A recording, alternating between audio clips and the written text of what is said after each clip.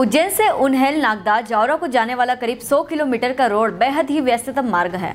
इस रोड से मंदसौर, नीमच, जावरा आने जाने वाले वाहनों को काफ़ी परेशानियों का सामना करना पड़ता है।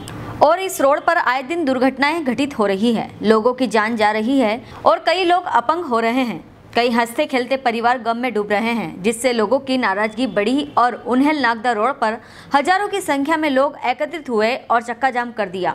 रोड को फोर लाइन बनाने की मांग करने लगे। उसके बाद प्रशासनिक अधिकारी पहुँचे और लोगों को समझाइश दी। उज्जैन से वीरेंद्र शर्मा की रिपोर्ट। ये चक्का जाम हो रहा है, इसकी सूचना थी सर आपको अभी फ़ोन पे इन्होंने इनके द्वारा बताया गया था मुझे। अब जैसे कि आपको पता ही कल से ही लगातार बारिश हो रही है। तो उसमें हम लोग सुबह से ही लगे हुए थे पूरा प्रशासन उसी में लगा हुआ है। बारिश में नीचे बस्तियों में भी जलभराव हुआ है। इस कारण से व्हाट्सएप के माध्यम से और फ़ोन के माध्यम से सूचना आई सर चक्का जाम करना कोर्ट की अवेल में है। बिल्कुल इस समय क्योंकि बच्चे हैं इन पे बातचीत की जा रही है जल्दी जल्दी करवा लिया जाएगा पाँच मिनट के अंदर।